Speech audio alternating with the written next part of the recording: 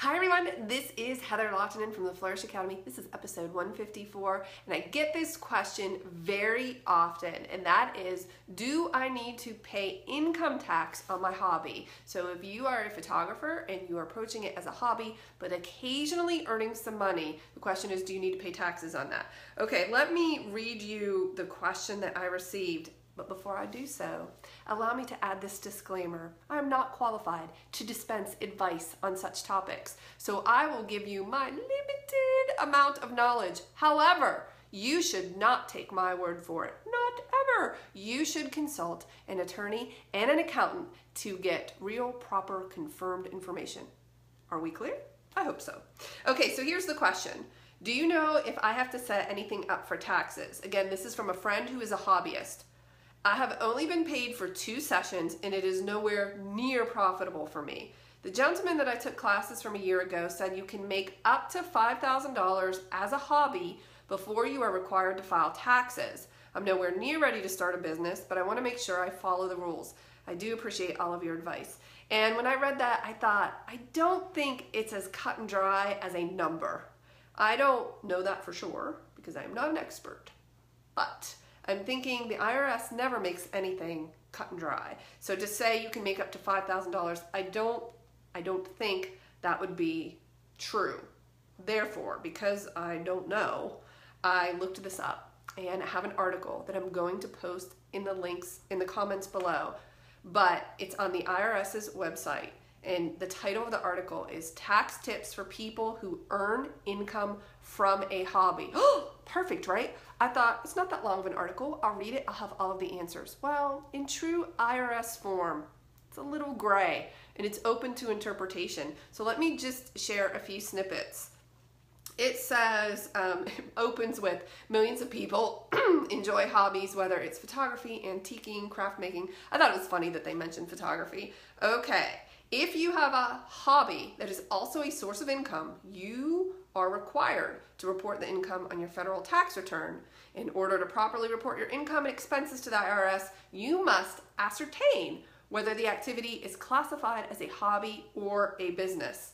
For tax purposes, a hobby is defined as an activity that you engage in, and I quote, for specific or recreation not to make a profit.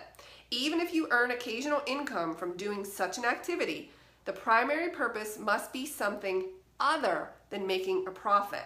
Okay, so that's the IRS's definition of a hobby versus a business. For sport or recreation, not to make a profit. To distinguish between a hobby and a business, you must take into account all the facts and circumstances of your situation. The IRS lays out the following nine factors that should be considered when establishing if an activity is a business engaged in making a profit. Okay, nine factors. Okay, why couldn't we make it three? And these nine factors, I'll share them with you. To me, they're so open to interpretation. Just listen. Number one, whether you carry on the activity in a business like manner. It's not really black and white. Whether the time and effort you put into the activity indicates that you intend to make it profitable. Whether you depend on the income from the activity for your livelihood. That's pretty clear. If you are earning money from photography that you depend on as your livelihood, then it sounds to me like the RS considers that a business. The fourth one, whether your losses are due to circumstances beyond your control or are normal in the startup phase of your type of business. I don't really understand that one. Whether you adjust your methods of operation in an attempt to improve profitability. Are you trying to become profitable? Whether you or your advisors have the knowledge needed to carry on the activity as a successful business. Do I have the knowledge to do that? Again, open to interpretation.